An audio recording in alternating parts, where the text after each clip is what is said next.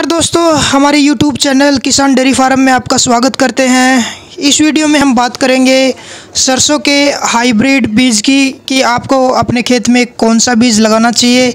हम आपको टॉप की तीन वैरायटी बताएँगे, जो कि हमने बिल्कुल अपने खेत में टेस्ट करके देखी हैं, और पिछले पाँच साल से हम ये बीज अपने खेत में लगा रहे हैं, और काफ़ी हमें अच्छी पैदावार देखने को मिली है। इन बीजों का काफ़ी अच्छा रिज़ल्ट रहा है दोस्तों।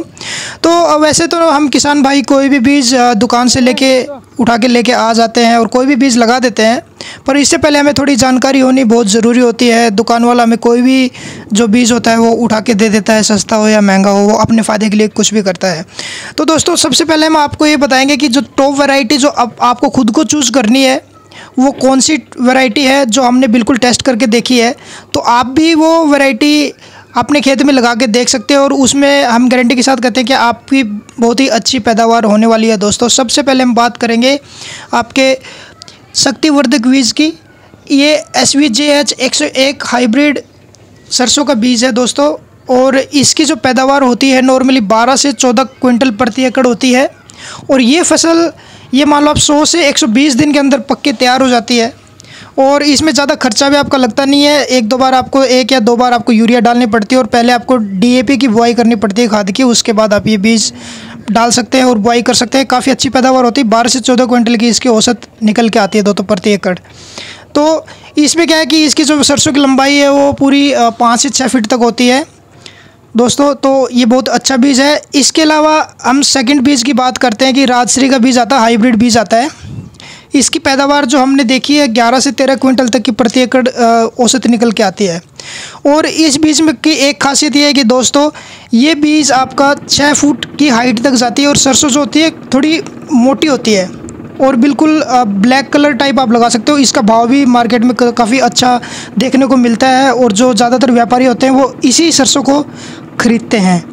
तो इसमें इसमें भी है कि पानी थोड़ा ज़्यादा चाहिए होता है, पर इसकी जो बुआई होती है, वो ये मान लो कि आपको 12 से 13 क्विंटल तक आपको प्रति एकड़ मिल जाती है दोस्तों। और इसका बाद हम बात करते हैं तीसरे बीज की। वो नंदी का 300 हाइब्रिड बीज आता है दोस्तों। ये आप लोगों ने पहले भी सुना होगा। और इसके हम अब की बार इसकी जो हम अपने खेत में बुआई कर रहे हैं, वो ये मान लो कि आपको 10 से 12 क्विंटल प्रति एकड़ दे देगा।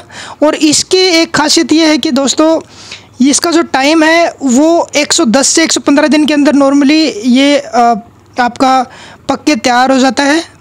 दोस्तों, नंदी 300 हाइब्रिड की जो फ़सल की लंबाई होती है, नॉर्मली पाँच से साढ़े पाँच फीट तक की होती है। तो ये तीन आपकी टॉप की हाइब्रिड की किस्में थी और सबसे पहले हम आपको इस वीडियो में बताना चाहेंगे ये कि खेत में बुआई करने से पहले आप बीज उपचार ज़रूर कर लें और बीज उपचार में क्या होता है कि दोस्तों आप क्या कर सकते हैं कि थिरम डाल सकते हैं, एक ग्राम थिरम एक के जी बीज के अंदर आप डाल के उसकी बुआई कर सकते हैं ताकि कोई भी आपकी फ़सल में बीमारी ना फैले। तो ये बीज उपचार बहुत ज़रूरी होता है फ़सल में करने के लिए। तो ये तीन टॉप की फ़सलें थी दोस्तों। इसमें क्या है कि आपकी जो पैदावार होती है, ये बहुत ही अच्छी होती है। और इसमें क्या है कि ये रिज़ल्ट हमने बिल्कुल अपने खेत में बुआई करने के बाद ही आपको ये बताया है। हम पिछले पाँच साल से ये तीनों जो हाइब्रिड किस्में हैं हम यूज़ कर रहे हैं। तो ये किस्में आप यूज़ करके आप, आप, आप अपने खेत में बहुत अच्छी तरह से ये फ़सल ले सकते हैं तो इस वीडियो में दोस्तों इतना ही था और अगर आपको हमारी ये वीडियो अच्छी लगी हो तो हमारे चैनल को प्लीज़ सब्सक्राइब करें और हमारे चैनल को सपोर्ट करें। हमारा वीडियो देखने के लिए बहुत बहुत धन्यवाद दोस्तों। थैंक यू सो मच धन्यवाद।